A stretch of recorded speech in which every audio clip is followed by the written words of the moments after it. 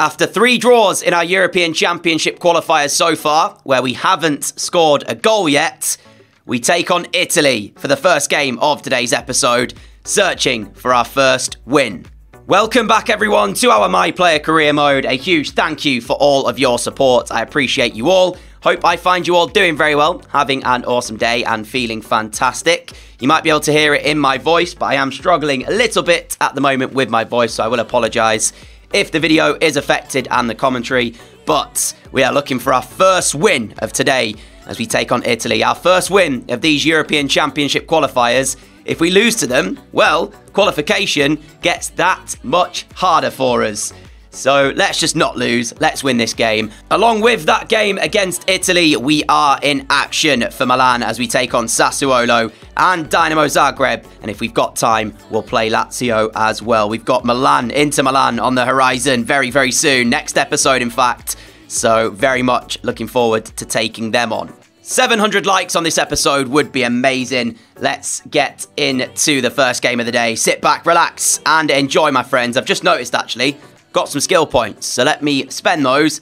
Then we'll get into the first game of the day. We have actually gone up by one overall as well. I put those skill points into ball control and one into skill moves. So yeah, that's grown our pro by one.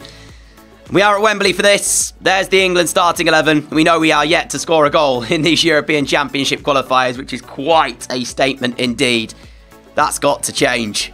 Now, admittedly, I did mess up in the previous game we played for England. That last game of last episode, I went through on goal, had a shot, should have squared it to Harry Kane. So we might have scored there, and that would have been our first goal. I will hold my hands up and say I should have squared the ball. But today's a new game, and it's chance to redeem ourselves then, as Declan Rice and John Stones combine passes. There's a run being made down the left-hand side, but Stones holds onto the ball. Harry Kane dropping deep here to get onto it. Will find my feet. We look to work it towards his right-hand side. That challenge surely should be the first booking of the game, and it is indeed. Stones, Rice, Alexander-Arnold. Nice. That's brilliantly worked from England. Here's Saka. Now to Kane. To Rashford, who gets his shot away. And if it wasn't for Donnarumma, England would have scored their first goal. Now, this is a chance to send something into the Italy penalty area to test their set-piece defending. It's not the best of deliveries. Easy enough header away. Tomori will keep it though for England. We'll go one more out here towards Marcus Rashford. He is on side still. That is a brilliant ball back in. Bellingham controls. Tried to pass. And the chance goes astray for England, who 20 minutes into this have started the better of the two sides as we'll play this ball back in. Harry Kane, now Rice, now Saka. Saka sees me, right hand side, chance to put the cross in. It's whipped into a dangerous area, but I didn't really pick anyone out, more so just sort of hit it into a space where I was asking someone to go and challenge. And that, unfortunately for us, is an Italy free kick. I thought it might be ours and we could keep the pressure on, but no. And once again, it's the same story for England. We've been the more proactive side, so we can be happier with that. We've been the team on top in terms of dominating the ball, but we haven't used it well enough to create a chance other than the one you saw in the first half, which Donnarumma was easily able to save when Rashford shot. Something's got to give for England as this could be it! Donnarumma out quickly to meet Bukayo Saka and stop him scoring. Oh, man. That could have been England's goal. We are headed to another goalless draw unless something changes. And what we definitely do not want is that goal to be in favour of Italy. We've been found here as Saka is trying to get down the right-hand side. Here he goes. 1v1, he's got Kane straight through the middle. Harry Kane needs to be a bit braver there when he gets that ball, as I didn't want it played. It just goes and ends the attack for England more than anything. A single minute left. I don't know what we've got to do, but England is not the play at the moment for us. I think next time, I just wish that like I could take some time out. I could sim the game. Don't you dare. Don't you dare say they're about to score. Ramsdale to the rescue. Honestly, England, it's a sluggish time with them right now. Four games, four nil-nil draws. And I haven't even got an answer as to how to fix this. Again, you can see my reaction. Just disappointment. Fortunately, goals have not eluded us with Milan, but unfortunately, I don't have any training ahead of Sassuolo, which means I'm having to start on the bench. So we'll join the game. We'll see what the result is at the moment. It's 1-1. Bernardo Silva's opening goal cancelled out by Decore as we have 27 minutes to find a winner and keep pressure on Juventus. Sassuolo quite calm on the ball, quite composed, which from their perspective, good to see. From Milan's perspective, not so good. We are an ultra attacking, so got to be careful we don't give away the ball too easily and allow them a chance as the ball breaks here for us. Right, Bernardo Silva's trying to get away down the right hand side. Ball will reach him. Bar is trying to join the attack. It's still with Bernardo Silva, though. Finds me. Through for David. Control is good, but Jallo got a vital touch as we come away with the ball again and find Chukwueze. We need this to work. Hernandez. Leao, Rafa Leao turning. Back the way of Chukwueze again. Can we work the chance? Rafa Leao, Chukwueze. Leao again. Just can't find the feet of David. The chance goes Milan, but it's poor by Sassuolo to give it away. Can we get that ball through to Bernardo Silva? We do! Lunin is out to meet him, though. I mean, this is not what you want to see, really, is it? It really is not what you want to see. It's 2-1 Sassuolo. And it's down to the fact that we went on to ultra-attacking, had a chance to go up the other end ourselves, and then we're just not set defensively. It is so poor. Alvarez Martinez here, he's found, but even then, he's got work to do. We've got to be so much tighter. We are giving Sassuolo players the freedom of the pitch, it feels like, when they have the ball.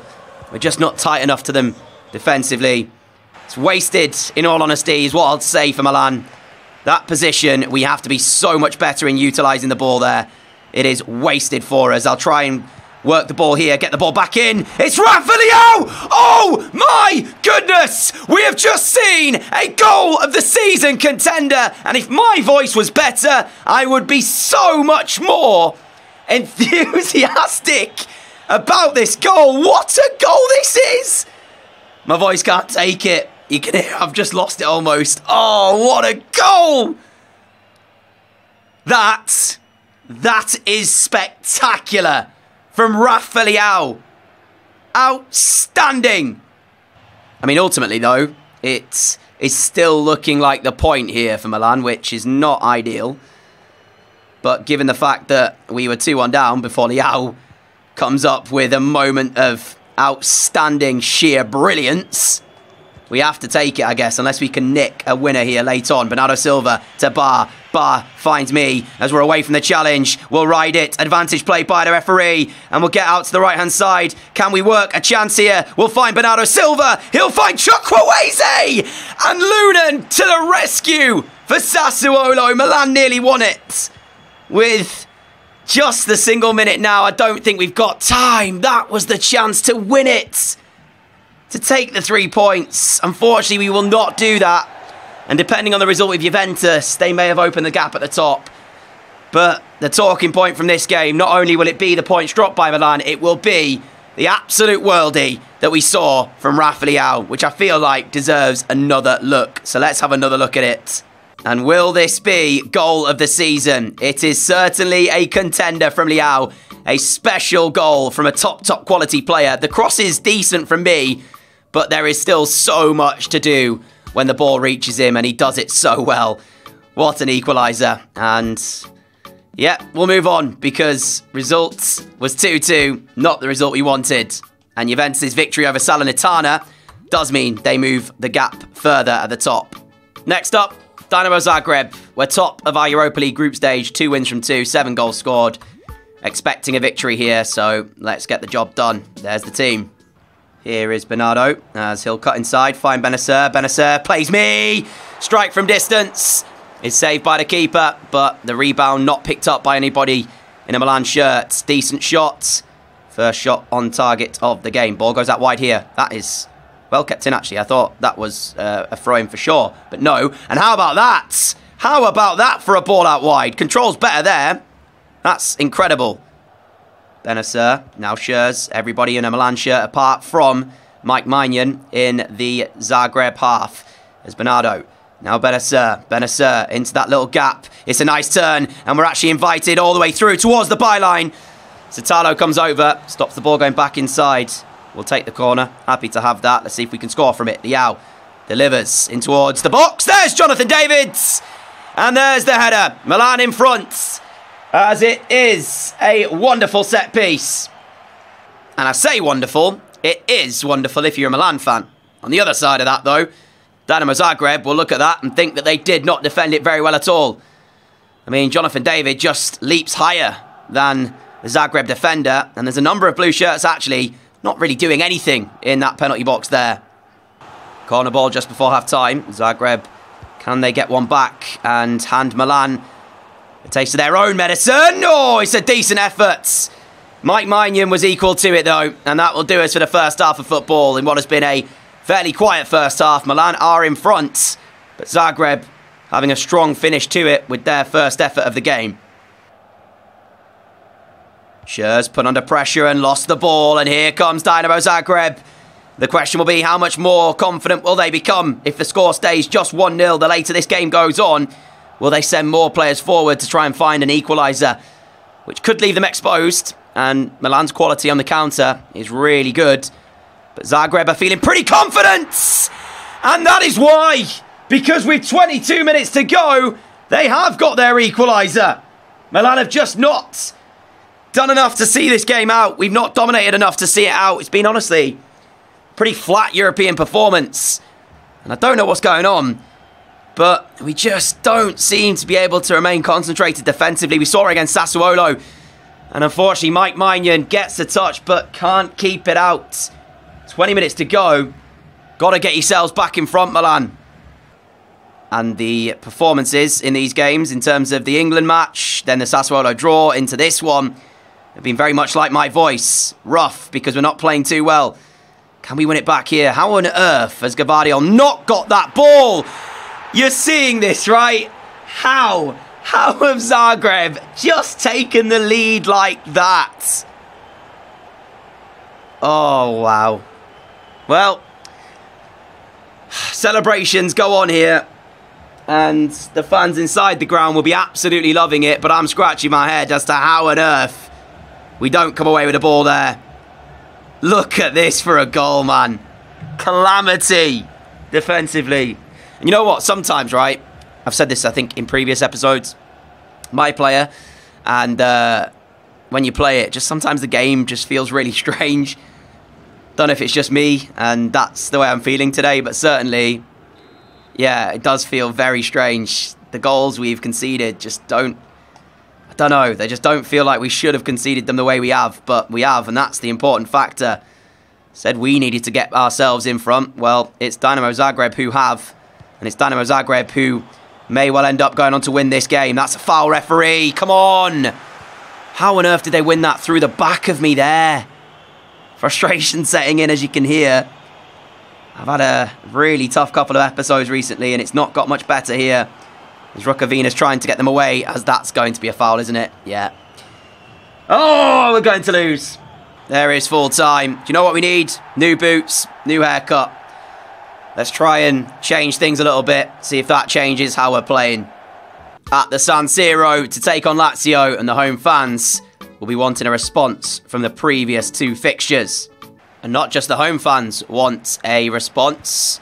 I want a response as well, I'm sure you do got to be better, especially with the title that we are fighting with Juventus for. They currently now sit three points clear of us at the top of the Serie A table. And after that defeat in the Europa League, we are no longer top on our own in the Europa League. So, yeah, things got more interesting there as well. But let's focus on Lazio, who are not too far behind us actually in Serie A. So this might be a tricky game. Bernardo down the right hand side. He's got Bar inside of him. Here is Bar. Tries to pull it across. Can't find that ball as Zaccagni will take Lazio forwards. Played against him recently as he was in the Italy team that we played against for England. No pass forward yet, so we'll have to hold on to the ball. Bentancur, Gvardiol. Got Teo Hernandez out wide, but carries in from centre back. Leao's back heel into my feet. Away from one challenge. We're going to drive straight in here towards the Lazio penalty area and a back across for Bentancur who should score. It has to be a goal. We take that touch too often. Just finish it first time into that near post. We are ahead. But no, chance goes. Stealing back possession there. And now here we go. Jonathan David will carry on our run. He'll find us into the position to be able to finish. Milan in front. And hopefully that is the first of more goals that we've got coming your way today in this particular fixture. Get in. I feel like that is a huge weight as well haven't been playing well recently, so to bag the first goal of the game across the goalkeeper is exactly what we wanted to do. New haircut, new boots. Hopefully this turns around our form. Have ourselves a corner here to try and double our lead. Let's see if we can make something of this. It's into the middle. Away by Edison. Will be picked up, though, by Bentancur. Finds me again. As that is going to be a foul, is it, for Milan? It is indeed a foul. It does mean we have a free kick, which... You know what? Let us see if we can make something of this. I'm going to try and go low and just hit it with pace and see if that works. Towards the goalkeeper. Outside the left boots. It has gone goalwards. And Maximiano had to make the save. I actually don't know how close that was to going in. But it does. Oh, I was trying to skip the replay and I've accidentally pressed A to pass the ball into the box. Well done, me. Bennacer. Now Ruben Dias into Bentancur, into Leao. Leao as he'll play Hernandez. Quick one two, gives him it back.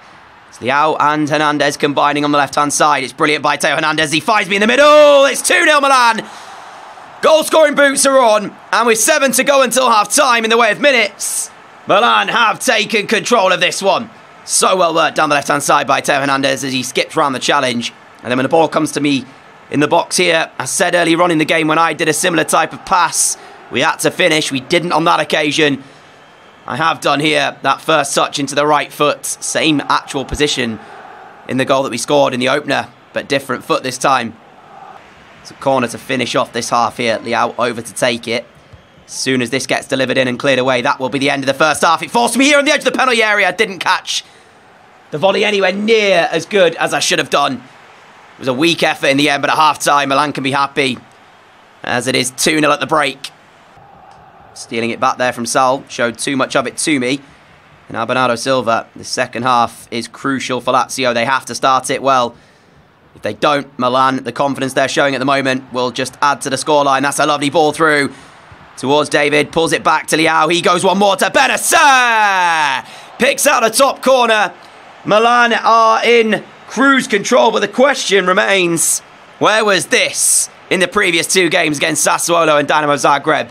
Because this is the Milan side that we've got used to seeing since we joined them. It's liquid football, it's delightful football, and it's chance for us to find even more. Here is Bar, looks over the top to find me. He will as well as we take it in our stride. Inside for David. David to Leao. Rafa Leao now then bearing down on the Lazio goal for number four, and he's not going to miss from there. And as I say, Lazio have been underwhelming It'll take something monumental from this moment now for them to get anything from this game. But it's really good to see Milan back in goal scoring form and defending quite well as well. Clean sheet on the cards for Milan and Maignan at the moment. Let's keep it that way.